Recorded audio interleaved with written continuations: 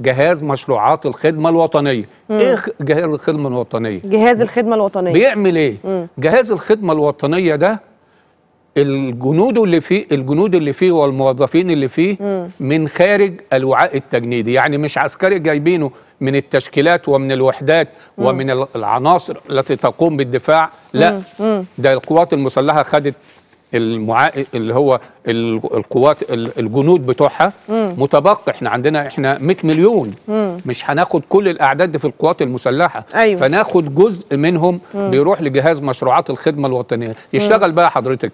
يشتغل في المشروعات الإنتاجية. اللي مثلا الآن الدولة بتقوم بإنشاء مزرعة. شوفوا بقى يا أستاذة أميرة قد إيه. مليون رأس.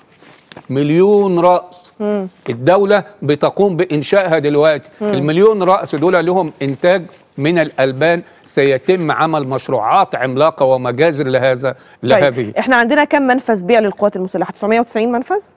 أكتر من كده يا فندم. أكتر من- أكتر من أكتر- هذا الرقم آه. لأنه في كل الميادين. لا أنا يعني في في منافذ بيع متنقلة وفي منافذ بيع ثابتة ثابتة. وكبيرة وفيها كل حاجة. بالإضافة لإيه؟ لسلاسل أمان التي تقوم بها وزارة الداخلية وزارة آه. الداخلية برضو آه. بتحافظ على الأمن القومي هي كمان وعارفة أيوة. أن الناس بتعاني وزارة الداخلية عندها 700 منفذ ثابت للبيع أمان ب- بيسموه شوف أمان ليه آه. لأن ده الأمان جاي من الأمن جاي من الأمن الشامل من الأمن القومي بالظبط وبعدين عاوز أقول يعني وزارة وزارة الداخلية بما إن جبنا سيرتها ليها 700 منفذ بيع بتبيع من خلاله ده منافذ ثابتة بس مش وليها كفاية. 134 منافذ بيع يا متنقله فندم مش كفاية مم.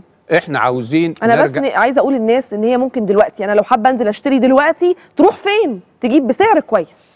كل ميدان وكل منطقة إن كانت حتى المناطق الراقية هناك سلاسل لتوزيع المواد في الغذائيه وزارة الزراعة في كمان. وزارة الزراعة. عندها 253 منفذ بيع في المحافظات بتوزع من خلاله المنتجات بسعر كويس. بس أنا عاوز أقول لحضرتك برضه يا أستاذة أميرة إن ده ليس كافيا.